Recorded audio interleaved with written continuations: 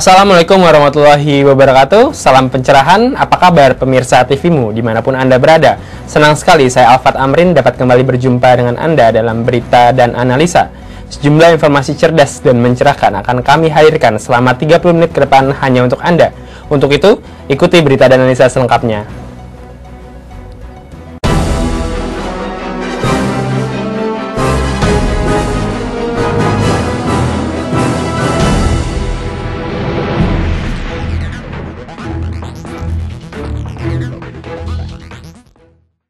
Wakil Presiden Republik Indonesia Muhammad Yusuf Kala resmi membuka Kongres Umat Islam yang ke-6 di Gedung Keraton Pagelaran Kesultanan Yogyakarta pada Minggu 8 Februari kemarin. Wakil Presiden Yusuf Kala membuka secara resmi Kongres Umat Islam Indonesia yang ke-6 di Yogyakarta pada Senin pagi kemarin. Kehadiran Wapres ini ditenggarai sebagai bagian dari rangkaian kunjungan kerja sehari Yusuf Kala dalam rangka Kongres Umat Islam di Yogyakarta dan menghadiri peringatan Hari Pers Nasional di Batam. Wakil Presiden yang juga menjabat sebagai Ketua Umum Dewan Masjid Indonesia ini hadir dengan didampingi Menteri Sosial Khofifah Indar Parawansa yang tiba di Keraton Yogyakarta sekitar pukul 9.50 waktu Indonesia Barat dan disambut langsung oleh Ketua Umum Majelis Ulama Indonesia Din Samsudin, Menteri Agama Lukman Hakim Saifuddin, Wakil Ketua MPR RI Hidayat Nur Wahid, dan Gubernur Daerah Istimewa Yogyakarta Sri Sultan Hamengkubuwono ke-10.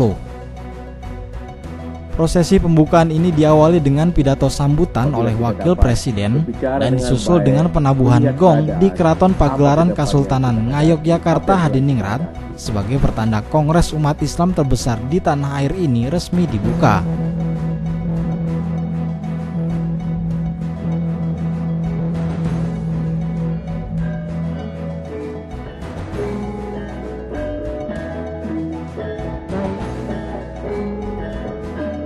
Dalam sambutannya, Yusuf Kala menyampaikan agar Kongres Umat Islam ini dapat memberikan jalan yang lebih baik untuk kemajuan umat Islam tanah air ke depannya.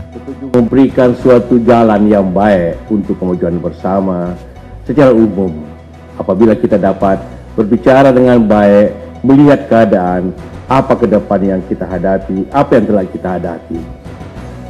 Tentu juga kita semua terkesan dengan sejarah Kongres Umat Islam ini sejak pada awal sebelum merdeka yang mengumandangkan kemerdekaan dan kemudian pada saat kita telah memperolehkan kemerdekaan yang mengumandangkan perlunya kita melanjutkan perjuangan yang baik dan juga kongres-kongres setelah itu selesai perjalanan reformasi. Selepas membuka secara resmi kegiatan Kongres Umat Islam Indonesia ke-6 di Yogyakarta, Wakil Presiden Yusuf Kala langsung bertolak menuju Batam untuk menghadiri kegiatan peringatan Hari Pers Nasional yang juga jatuh pada 9 Februari kemarin. Isan Marsha, Mas Agung Ramantio memberitakan dari Yogyakarta. Kongres Umat Islam Indonesia yang ke-6 yang sedang berlangsung di Yogyakarta pada 8 hingga 11 Februari ini akan membahas strategi penguatan umat Islam di tanah air, khususnya di bidang politik, ekonomi, dan sosial budaya. Perhelatan Kongres Umat Islam terbesar di tanah air yang digelar selama lima hari di kota Yogyakarta ini akan membahas sejumlah persoalan penting guna menentukan strategi dalam rangka penguatan umat Islam di Indonesia. Melalui kongres yang bertajuk penguatan peran politik, ekonomi, dan sosial budaya umat Islam untuk Indonesia yang berkeadilan dan berperadaban, setidaknya isu penting terkait politik, ekonomi, dan sosial budaya menjadi materi utama yang dibahas dalam kongres ini. Kongres yang dihadiri seluruh organisasi dan lembaga-lembaga Islam di tanah air ini akan dibagi dalam lima tahapan pleno, yang masing-masing akan membahas persoalan-persoalan yang diangkat dalam tajuk kongres kali ini. Dalam prosesnya di hari pertama, pleno Kongres Umat Islam diawali dengan pidato iftitah oleh Ketua Umum Majelis Ulama Indonesia Din Samsudin dan dilanjut dengan pleno kedua dengan pembahasan terkait strategi penguatan peran politik umat Islam Indonesia yang disampaikan oleh para politikus partai Islam dan pengamat politik tanah air. Dan di hari kedua, pleno ketiga akan membahas tentang penguatan peran ekonomi umat Islam Indonesia yang menghadirkan para pengusaha muslim dan sejumlah pengamat ekonomi tanah air dan dilanjut dengan pleno keempat terkait penguatan peran sosial budaya umat Islam dengan narasumber sejumlah para tokoh pendidikan dan rektor perguruan tinggi nasional. Hingga hari terakhir pelaksanaan kongres yakni pada Rabu 11 Februari, pleno kelima terkait pengesahan hasil komisi atau hasil rekomendasi dari pleno-pleno yang sebelumnya menjadi rangkaian sidang pembahasan terakhir pada kongres terbesar umat Islam nasional ini. Dan tepatnya pada hari terakhir kegiatan tersebut dikabarkan bahwa Presiden Republik Indonesia akan secara resmi menutup Kongres Umat Islam Indonesia ke-6 ini. Isan Marsya, Masagung Ramantio memberitakan dari Yogyakarta. Melalui prosesi Kongres Umat Islam ke-6 di Yogyakarta, Ketua Umum Majelis Ulama Indonesia Din Samsudin menyerukan tiga hal untuk membawa kemajuan umat Islam tanah air ke depannya. Berikut himbauan selengkapnya untuk Anda. Kemajuan bangsa dan negara Indonesia tidak akan pernah terlepas dari peran umat Islam sebagai mayoritas di tanah air.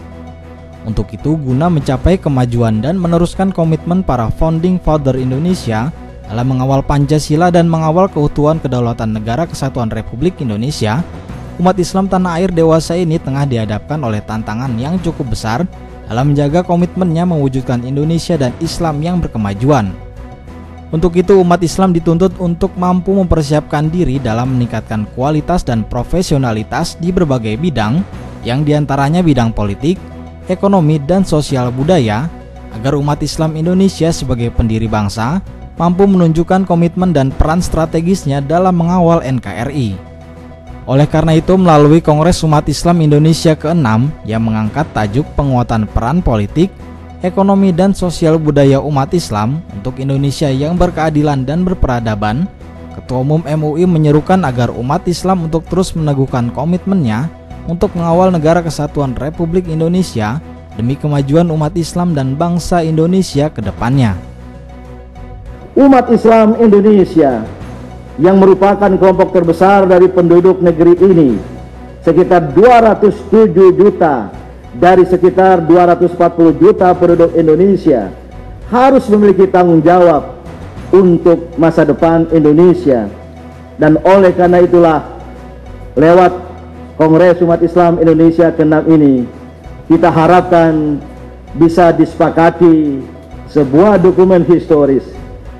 Kalau Kongres pertama 38 telah menyepakati dan mengukuhkan adanya Majelis Islam A'la Indonesia. Dan Kongres kedua mengukuhkan keberadaan Masyumi sebagai partai tunggal umat Islam. Maka tidak ada salahnya dan bahkan akan sangat lebih baik kalau dari Yogyakarta ini juga kita lahirkan sebuah dokumen historis baru apalah namanya yang bisa disepakati nanti termasuk ada yang mengusulkan komitmen Yogyakarta deklarasi Yogyakarta mitak Yogyakarta yang pada intinya kita perlu menegaskan komitmen bahwa NKRI yang berdasarkan Pancasila ini adalah buah dari perjuangan dan jihad umat Islam Indonesia. Maka oleh karena itu, umat Islam harus mengawal NKRI tercinta ini. Umat Islam harus bertanggung jawab untuk mengisinya.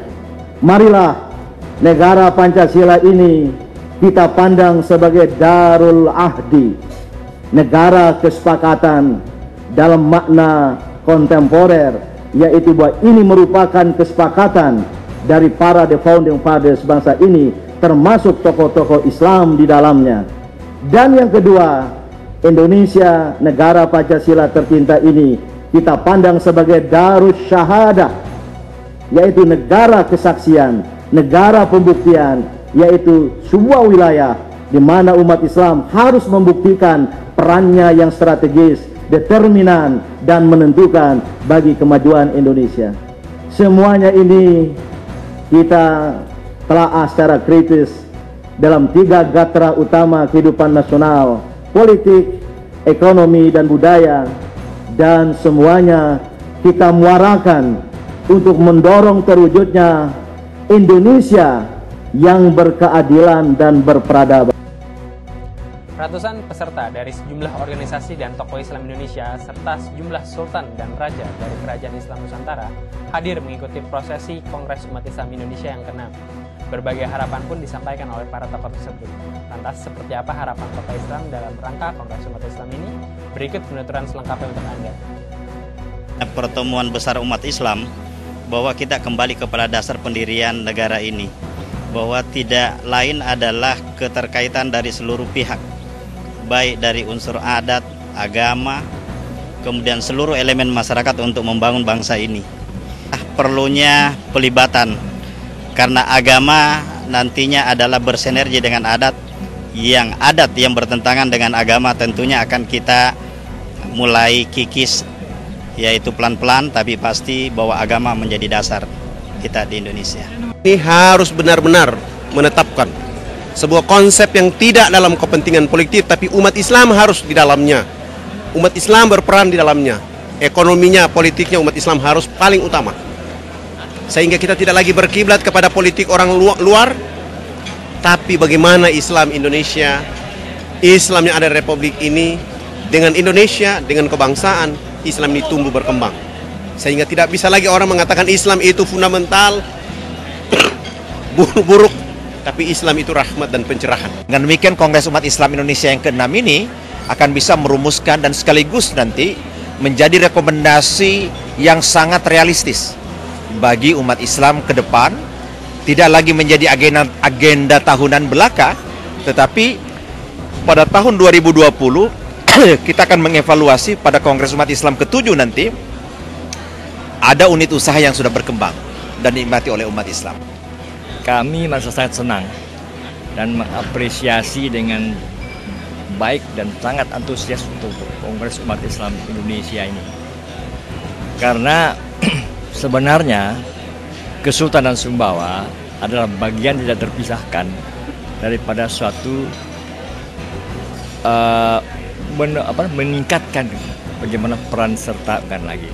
Insya Allah dengan adanya Kongres Umat Islam Indonesia di Yogyakarta ini mungkin suatu momentum untuk kita kembali berperan sekaligus juga memberikan kontribusi penting bagi Indonesia yaitu kembalinya semangat bersama-sama saling mempercayai dalam masyarakat Indonesia. Ya. Pemirsa tetap bersama kami dalam berita dan analisa setelah jeda pariwara berikut ini.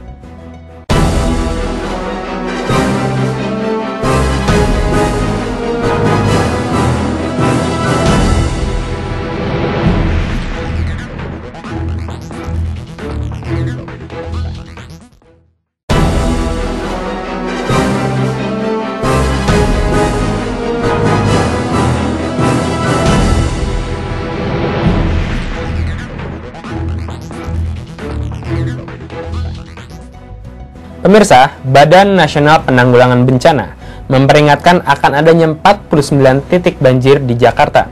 BNPB memprediksikan Jakarta akan diguyur hujan sepanjang satu minggu ke depan dengan intensitas rendah hingga tinggi. Hingga pukul 6.00 waktu Indonesia Barat, berdasarkan data sementara dari Pusdapos BPBD DKI Jakarta, ada 49 titik genangan di Jakarta yaitu 22 titik di Jakarta Pusat, 18 titik di Jakarta Barat, 4 titik di Jakarta Timur, dan 2 titik di Jakarta Selatan. Tinggi genangan antara 10 hingga 80 cm. Di Jalan Tamrin dan Jalan Merdeka Barat tergenang banjir hingga 10 sampai 50 cm. Titik genangan ini timbul akibat drainase perkotaan yang kurang mampu mengalirkan air permukaan ke sungai. Banyak masalah terkait drainase seperti kecilnya kapasitas, sedimentasi, tertutup sampah, dan lainnya. Sedangkan kondisi sungai-sungai di Jakarta hingga saat ini masih normal. Sungai Ciliwung di Katulampa, Depok, Manggarai masih normal pada siaga 4. Begitu pula Kali Krukut Hulu, Pesanggerahan, Angke Hulu, Cipinang Hulu dan Sunter Hulu juga masih normal. Masyarakat Jakarta dihimbau untuk selalu waspada. Hujan berpotensi masih terjadi dengan intensitas sedang lebat disertai kilat dan angin kencang di wilayah Jabodetabek. masyarakat juga harus berhati-hati melintasi daerah banjir. Tim TVMU memberitakan. Seakan tak berkaca dari tahun-tahun sebelumnya, Jakarta tetap menjadi langganan banjir. Tak terkecuali di kawasan salah satu simbol tertinggi Republik ini, Istana Negara, tempat berkantornya Presiden Republik Indonesia di Jalan Medan Merdeka Utara, Jakarta Pusat. Selamat siang pemirsa TVMU di mana pun Anda berada. Saat ini saya sedang berada di Jalan Silang Monas Barat Laut, tepatnya di depan Monumen Nasional dan di depan Istana Merdeka, Jakarta. Saat ini dapat dilihat di samping kanan saya dan di belakang saya sudah terdapat kemacetan arus lalu lintas di depan Istana Merdeka. Karena adanya genangan air setinggi 20 cm kira-kira sebetis orang dewasa yang mengenangi lalu lintas di depan Istana Merdeka ini. Lalu menurut informasi sejak pukul 10 malam tadi hingga siang hari ini genangan air setinggi 20 cm hingga 50 cm menurut informasi semalam masih mengenangi uh, lalu lintas di depan Jalan Silang Monas Barat ini. Alfat Amrin, Surya Saputra melaporkan dari Jakarta. Hujan lebat yang mengguyur Jabodetabek membuat banjir di 49 titik di Jakarta. Salah satu yang cukup parah terendam banjir adalah Jakarta Pusat tepatnya Kemayoran dan Pasar Baru. Hujan yang mengguyur ibu kota selama dua hari mengakibatkan banjir di sejumlah titik di Jakarta. Selain Jakarta Utara yang parah terendam banjir, Jakarta Pusat juga terendam banjir baik di daerah pinggiran hingga ring 1 Jakarta, pusat-pusat pemerintahan seperti Jalan Merdeka Barat atau Timur yang di wilayah itu terdapat istana negara, balai kota dan kantor-kantor pemerintahan. Di pinggiran Jakarta Pusat seperti Pasar Baru dan Kemayoran terendam air cukup parah karena meluapnya sejumlah sungai-sungai di sekitar daerah Pasar Baru, ketinggian air rata-rata sebetis orang dewasa. Akibat banjir ini di kawasan Kemayoran dan Pasar Baru mengalami kemacetan yang cukup parah. Tak sedikit kendaraan bermotor hingga mobil mogok di tengah jalan karena menerobos genangan air. Tidak hanya jalanan yang terendam air, di Pasar Baru dan Kemayoran, rumah-rumah di sejumlah perkampungan juga terendam air. Arina Nuromah Bambang Triwibowo memberitakan dari Jakarta. Pantauan dari Badan Meteorologi, Klimatologi, dan Geofisika, cuaca di Jabodetabek hingga satu minggu ke depan berstatus waspada hujan lebat. Curah hujan yang intens selama dua hari mengakibatkan beberapa titik di ibu kota banjir. Berdasarkan pemantauan dari Badan Meteorologi, Klimatologi, dan Geofisika atau BMKG melalui satelit, hujan lebat akan terus mengguyur Jakarta dan sekitarnya hingga satu minggu ke depan. Berdasarkan penjelasan Fahri Rajab selaku Kepala Bidang Informasi Meteorologi Publik, distribusi hujan merata di semua wilayah Jakarta. Namun di daerah hulu seperti Cianjur maupun Bogor, intensitas hujan sedang. Sejauh ini BMKG terus memantau perkembangan cuaca yang sifatnya berjadwal maupun yang warning. BMKG terus memberikan informasi baik perakhiran cuaca yang sifatnya berjadwal maupun yang warning yang seketika. Nah, warning ini kami kirimkan ke semua stakeholder kami, Pemda, kepolisian, uh, militer dan ke BNP, BNPB, BPBD terutama karena mereka yang punya crisis center untuk antisipasi banjirnya lebih lanjut. Jadi info itu terus kita kirimkan ke BPBD. BMKG juga menghimbau ke seluruh warga Jakarta maupun di daerah di seluruh Indonesia untuk lebih waspada terhadap banjir, tanah longsor, dan lain-lain. BMKG juga memberikan informasi kepada masyarakat, bulan Februari merupakan bulan puncak musim hujan untuk Jakarta untuk itu masyarakat Jakarta diminta waspada hingga satu minggu ke depan. Arina Nurohmah Bambang Triwibowo memberitakan dari Jakarta. Pemirsa, tetap bersama kami dalam berita dan analisa.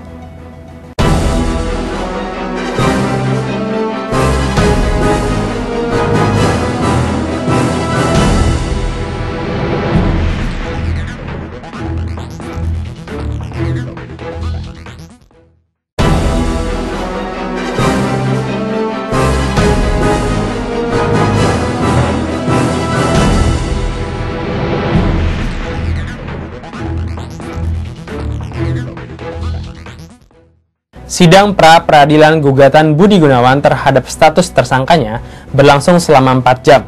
Proses sidang diawali pembacaan gugatan yang diajukan kuasa hukum Budi Gunawan. Sidang pra-peradilan gugatan Budi Gunawan terhadap status tersangkanya berlangsung selama 4 jam. Dari hasil sidang dihasilkan berbagai catatan untuk kedua belah pihak. Sidang pra-peradilan yang berlangsung selama 4 jam ini ditutup dengan putusan hakim ketua yang memberikan waktu dua hari masa sidang. Waktu tersebut digunakan untuk kedua belah pihak, baik KPK maupun Budi Gunawan membuktikan dalil mereka. Sidang berlangsung secara terbuka di ruang sidang utama Pengadilan Negeri Jakarta Selatan, ramai dipadati para awak media dan simpatisan dari kedua belah pihak. Kubu kuasa hukum Budi Gunawan berada di sebelah kanan hakim, sedangkan kuasa hukum KPK berada di sebelah kiri hakim. Proses sidang diawali pembacaan gugatan yang diajukan kuasa hukum Budi Gunawan. Berkas gugatan setebal 60 halaman tersebut memuat berbagai argumen yang menunjukkan posisi penetapan Budi Gunawan dinilai tidak sah oleh pemohon. Setidaknya ada enam poin dari permohonan gugatan Budi Gunawan Antara lain, kuasa hukum Budi Gunawan memohon hakim untuk menyatakan menerima dan mengabulkan semua permohonan Budi Gunawan. Kemudian menyatakan sprindik 12 Januari 2015 penetapan tersangka pasal 12 pasal 5 ayat 2 atau pasal 12 Undang-Undang Nomor 31 Tahun 99 tentang korupsi junto pasal 55 ayat 1 KUHP tidak sah.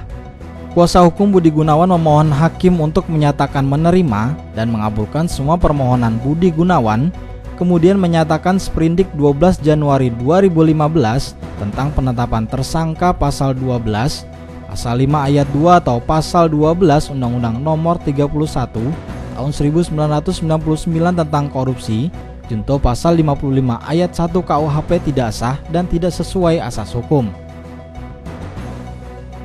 Setelah kuasa hukum Budi Gunawan menyampaikan gugatan, pihak kuasa hukum KPK membacakan jawaban atas argumen yang dibacakan kuasa hukum Budi Gunawan. Setelah kuasa hukum Budi Gunawan menyampaikan gugatan, pihak kuasa hukum KPK membacakan jawaban atas argumen yang dibacakan kuasa hukum Budi Gunawan yang intinya menyebut pra peradilan ini tidak seharusnya terjadi sebab sudah melanggar KUHP. Pada sidang lanjutan, kedua belah pihak membawa semua bukti baik tertulis maupun elektronik, juga saksi untuk memperkuat argumen mereka. Tim TVMU memberitakan. Pimpinan Pusat Pemuda Muhammadiyah bersama Indonesian Corruption Watch dan Universitas Muhammadiyah Tangerang meluncurkan madrasah anti korupsi Melalui madrasah anti korupsi ini, anak-anak akan dibimbing untuk memulai bersih dalam hal apa pun dan belajar untuk tidak korupsi. Perlawanan terhadap tindak pidana korupsi terus digaungkan oleh sejumlah aktivis.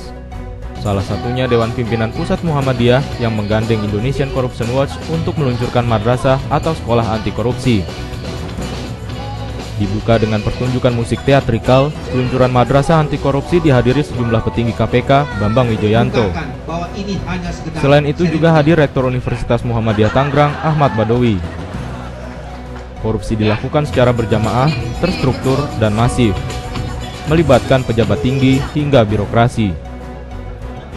Dengan diluncurkannya madrasah anti korupsi merupakan bentuk ikhtiar dalam memberantas korupsi. Korupsi sekarang dilakukan secara berjamaah saya katakan tadi terstruktur, uh, sistematis dan masif gitu ya. Mulai dari uh, apa uh, yang melibatkan pejabat tingkat tinggi sampai uh, apa birokrasi. Dan korupsi yang berjamaah hanya bisa dilawan secara berjamaah gitu. ICW dan Muhammadiyah membuat madrasah anti korupsi dan sebagainya ini kan bentuk dari jamaah dalam melawan korupsi dan saya kira mudah-mudahan ikhtiar ini bisa diikuti oleh kelompok-kelompok yang lain sehingga makin banyak jamaah dalam melawan korupsi. Kegiatan yang dilakukan oleh Madrasah Anti Korupsi ini nantinya akan ada pelatihan kepada kader-kader muda terutama kader Muhammadiyah termasuk masyarakat umum. Pelatihan yang diberikan berupa perspektif soal korupsi dan bagaimana cara melawan korupsi, juga bagaimana mereka berkontribusi dalam melawan korupsi. Selain itu, akan dilakukan pemantauan bersama seperti pemilu dan pelayanan publik lainnya, membongkar kasus korupsi, serta mengawasi pemerintahan agar bersih dari korupsi. Rizky Nurul Ilmi, Muhammad Surya Saputra memberitakan dari Jakarta. Hampir seluruh pimpinan KPK dipanggil untuk penyidikan di Baris Polri. Jika memang KPK dilumpuhkan, salah satu opsi adalah KPK mengikuti mandat Presiden Joko Widodo sebagai kepala negara.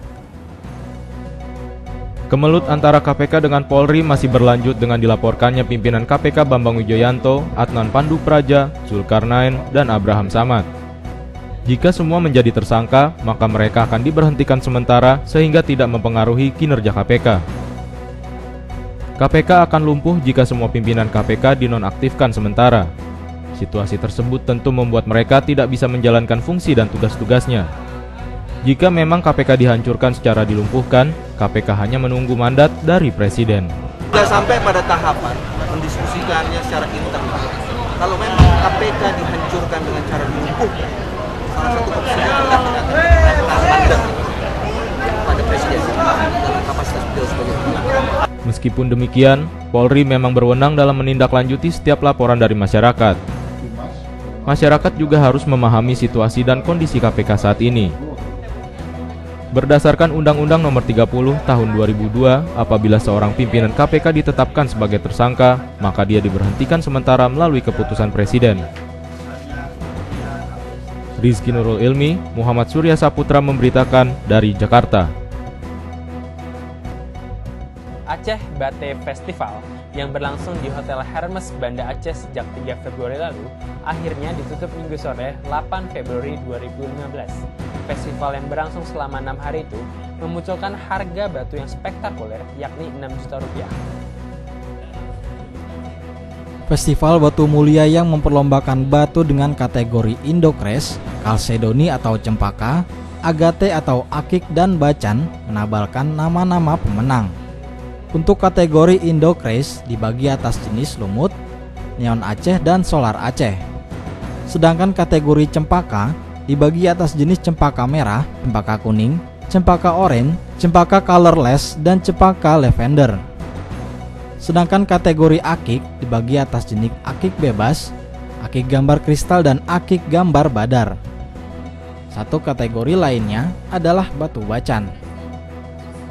Iwan Gede A, salah seorang pemenang festival Aceh Bate, menyampaikan rasa gembiranya karena berhasil memenangkan salah satu kategori lomba. Neon kelas lak. Apa? Lak kelas lak kelas kelas besar kelas lak. Aceh Bate Festival yang diikuti sekitar 500 peserta itu menjadi arena transaksi ekonomi yang cukup spektakuler yang munculnya jenis batu yang dihargai sampai 600 juta rupiah. Aceh Bate Festival yang diikuti sekitar 500 peserta itu menjadi arena transaksi yang cukup spektakuler dengan munculnya jenis batu yang diberi nama giok natural gold asal Gayo Aceh Tengah yang dihargai sampai 600 juta rupiah. Batu itu memiliki berat 16 kg, dipamerkan di stand Redelong Gemstone, kemudian ditawarkan kolektor dengan nilai 300 juta rupiah. Festival ini juga menjadi transaksi jual beli batu dalam bentuk bongkahan dan batu dalam bentuk cincin yang telah jadi. Ketua Panitia Aceh Bate Festival, Oktowandi menyerahkan sertifikat, uang saku dan piala untuk masing-masing kategori dan jenis yang diperlombakan. Oktowandi menyambut gembira suksesnya festival Batu Aceh itu dan ia merencanakan akan menggelar festival rutin di Banda Aceh. Ya. Ke depannya bagaimana Pak? Ke depannya kita akan mengedarkan ini untuk menjadi event tahunan karena event yang dilaksanakan dan kontes yang dilaksanakan di Aceh ini berkaitan dengan event internasional yang akan kita bawa nanti ke Grand Prix di Jakarta bulan Agustus. Festival kali ini merupakan seleksi untuk festival nasional yang akan berlangsung pada bulan Agustus mendatang di Jakarta. Saiful Hadi, Agus Naidi Budaya memberitakan dari Banda Aceh. Pengembangan kawasan maritim menjadi perhatian banyak pihak, tidak terkecuali Universitas Muhammadiyah Sumatera Utara. Bersama Lantamal 1 Belawan UMSU melakukan kegiatan bakti sosial di Pulau Jaring Halus, salah satu pulau terdepan di Selat Malaka. Pulau Jaring Halus di Kecamatan Sicanggang, Kabupaten Langkat, Sumatera Utara, merupakan salah satu kawasan pesisir yang mendapat perhatian banyak pihak. Sejalan dengan program Presiden Jokowi yang ingin mengembangkan kawasan maritim, maka Pulau Jaring Halus harus mendapatkan perhatian yang lebih.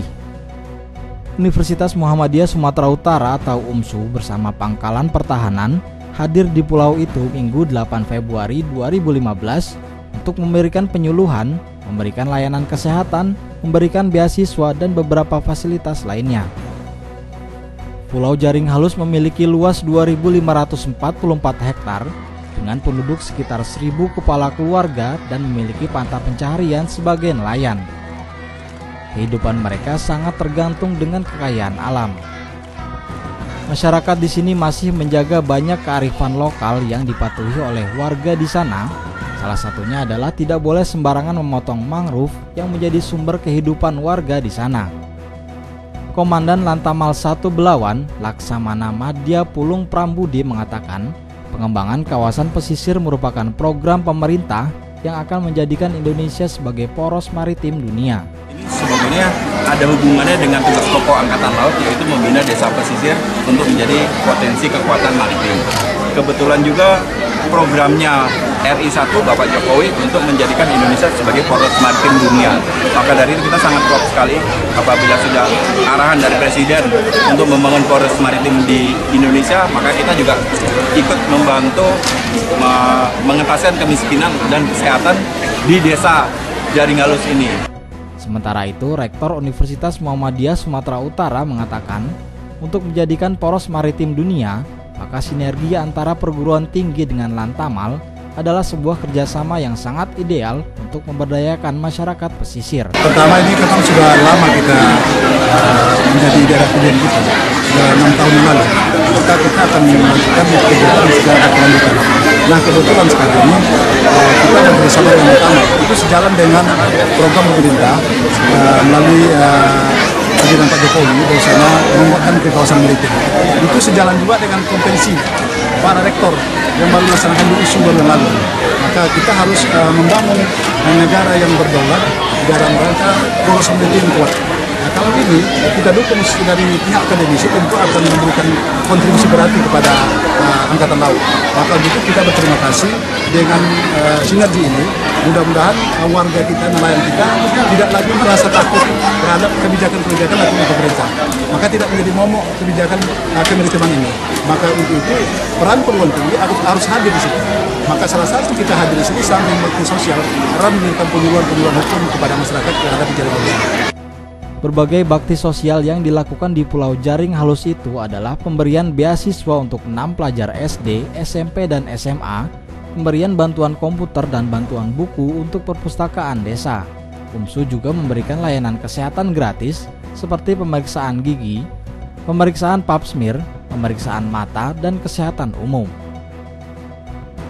Saiful Hadi, Farhan Tanjung memberitakan dari Medan, Sumatera Utara. Pemirsa, berita soal bakti sosial UMSU tadi sekaligus menutup jumpa kita pada kali ini.